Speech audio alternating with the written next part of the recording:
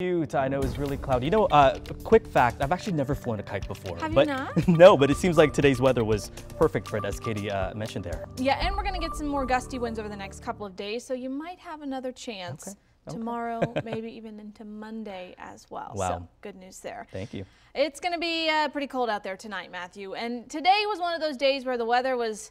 Oh, it was doing its own thing. We're looking outside right now. This from Maryland. And you can see we have got some snow showers out there at the moment, some flurries across the area. But that's not the only area that's seeing some snow. We've actually gotten some graupel throughout the day today. So look at one of our weather watchers photos uh, from today. Now this is from Burke, Virginia. You can see a few of those little itty bitty dots uh, out there on the ground. That's some graupel that fell. Another picture from Maryland from one of our weather watchers. Uh, thanks to uh, Rebecca for sending this one in. All those white little pellets, they kind of look like Dippin' Dots. That's called graupel. Now what that is is super cooled water attaches on onto a snowflake as it starts to fall down. And that's what makes this uh, little pellet-like snow that we see. Now, it was one of those weird afternoons where it wasn't necessarily cold enough for it to be snowing. Now, it was cold way up high, but as that snow came on down, it started to melt a little bit, and that's how we get these little uh, pellets that we call graupel. Now, as we continue throughout the rest of your evening and into the overnight hours, skies will continue to clear out from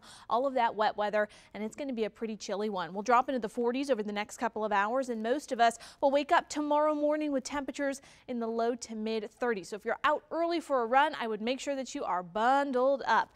By tomorrow afternoon, partly sunny skies, but still chilly out there. High temperatures ranging between the mid 40s to uh, low 50s. But we got to talk about feels like temperatures because it is going to be very gusty heading into tomorrow. Winds sustained at about 15 miles per hour with gusts anywhere from 25 to 35 miles per hour. So we'll start off the day feeling like the upper 20s to low 30s, but check this out. By 3 o'clock, we're only feeling like the mid 30s. 37 there in D.C., Manassas at 39, Fredericksburg at 34. So even though your thermometer will be reading close to about 50 degrees, it's going to be feeling much colder. So any outdoor plans that you have for tomorrow, I would just bring them inside. Because of the wind, it's going to be pretty miserable out there, unless, of course, you're going to go and fly a kite. It might be just perfect for that.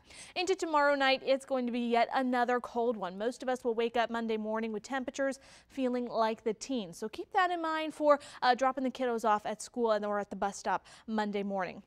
We're going to go through Futurecast here because we've got some uh, sun, but we also have a pretty significant amount of rain uh, moving towards the DMV over the next few days. So Monday, we're nice and sunny, a little bit breezy here and there. A few showers will start to roll through very late Tuesday, carrying over into the early morning hours of your Wednesday, but we're clear by about Wednesday afternoon. Now, our next round of rain will come through there on Thursday. Right now, widespread showers across the entire DMV. Our chance for severe weather is relatively low. That risk is more off to our south, but still, since this is several days away, of course, we'll continue to monitor that threat. Right now, Thursday, that's the day to watch. Into Friday, a few sprinkles early in the morning, but that clears out by the afternoon. We've got sunshine on the way for your Friday afternoon and even into the start of next weekend as well. Here's a look at that seven day forecast for you. Temperatures, yeah, they're going to be cold for the start of the week. I hope you didn't pack away those winter jackets quite yet, but check that out. Thursday, we're back to the 70s. Not too bad out there, and we'll stay relatively warm heading into next weekend.